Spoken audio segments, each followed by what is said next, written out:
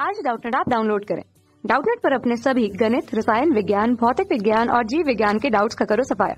बस प्रश्न की फ़ोटो खींचो, एक ही प्रश्न को क्रॉप करो और तुरंत वीडियो सोल्यूशन पाओ। अभी डाउनलोड करें। हेलो स्टूडेंट्स हमारा प्रश्न है, एक यादर्शिक चर एक्स का प्रायिकता टन नीचे दिया गया है। एक्स और px के मान हमें दिए ज़ीरो के लिए पी एक्स ज़ीरो, एक की प्रायिकता के दो के लिए दो के तीन के लिए दो के चार के लिए तीन के पाँच के लिए के स्क्वायर छः के लिए दो के स्क्वायर सात के लिए सात के स्क्वायर प्लस के तो ज्ञात कीजिए पी ऑफ़ एक्स का मान छः के बराबर या छः से हो। यानी कि हमें जब यादर्शिक चर एक्स का मान छः या छः से हो, तब उसके लिए प्रायिकता का मान ज्ञात करना है।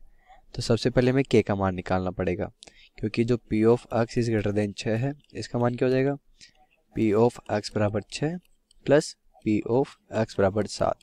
यानी कि जब एक्स का मान छः हो और जब एक्स का मान सात हो तो दोनों ही इसमें आएँगे। तो एक्स बराबर छः के लिए क्या हो जाएगा? दो के स्क्वायर और एक्स बराबर सात के लिए हो जाएगा सात के स्क्वायर प्लस के तो ये मान हो जाएगा सात और दो, नौ के स्क्वायर प्लस के अब इसका मान निकालने के लिए हमें के का मान निकालना पड़ेगा। अब हमें पता है कि जो प्रायिकताओं का योग कितना होता है? एक होता है। यानी कि जो प्रायिकताओं का योग होता है पी ऑफ़ एक्स जहाँ एक्स उसका मान कितना होता है? एक होता है।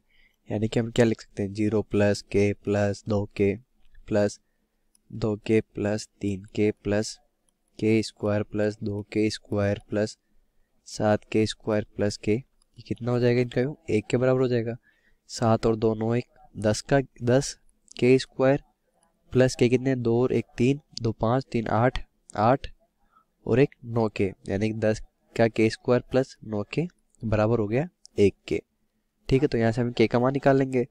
तो के के रूप में क्या आ गई? द्विघात समीकरण आ गया। दस के स्क्वायर प्लस नौ के माइनस एक बराबर जी। अब इस द्विघात समीकरण के मूल निकाल लेते तो, तो सीधराचार्य विधि से क्या हो जाएगा? के बराबर हो जाएगा माइनस का बी यानी कि माइनस का नौ प्लस माइनस रूट में बी स्क्वायर बी कितना नौ? तो नौ का स्क्वायर हो गया इक्यासी माइनस फोर ए सी चार गुणा ए का मान हो गया दस सी का मान हो गया माइनस का एक। तो बटे हुए दो गुणा ए ए क्या हो जाएगा? के स्क्वायर का गुणांक। तो दो गुणा दस हो जाएगा यहाँ से।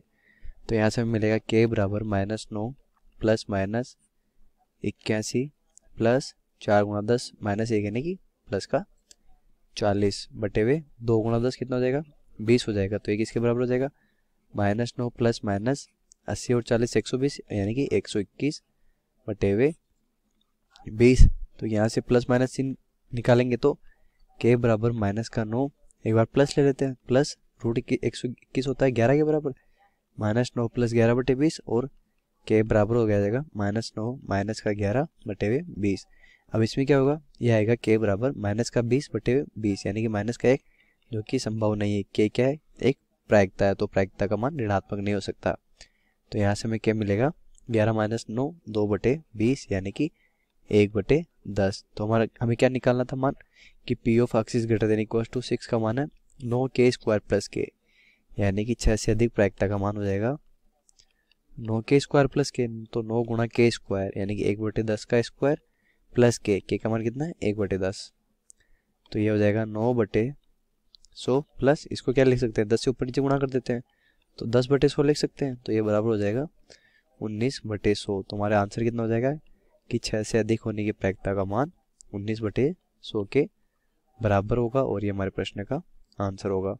तो उम्मीद है कि आपको प्रश्न समझ आया होगा। धन्यवाद।